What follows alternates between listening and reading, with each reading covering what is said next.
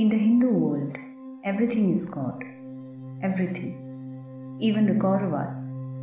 Everything in the world is a part of Krishna. Everything, therefore, can be loved and is capable of loving. He who has truly realized Krishna cannot hate the Kauravas.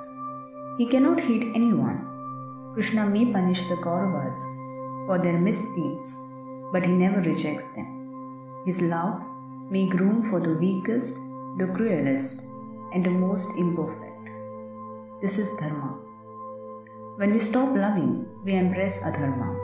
We judge, condemn, and reject people, invalidate them in hatred. We stop being generous, like the Kauravas. We become mean minded, petty, stingy, clingy, and possessive. Or like the Pandavas, we become clueless, confused, in search of direction and wisdom. We forget the path to Madhuvan. We entrap ourselves in Kurukshetra.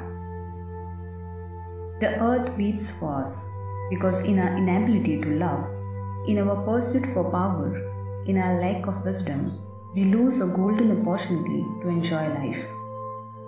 Make life enjoyable for others and find joy in giving joy. That is why the Krishna saga begins when the earth cow stands before Vishnu and begs him to save her children. God listens. The cowherd turns into the charioteer. He disciplines the unruly horse of the head with verses of the Bhagavad Gita. The verses provide a true understanding of life, an understanding that prevents false interpretation of circumstance and false expectations from the world. Thus enlightened, the heart loses its craving for power and embraces love. We participate in life, not to control it, but to appreciate it. The charioteer Krishna of the Mahabharata, Lord of Rukmini, appeals to our aid and helps us in times of crisis.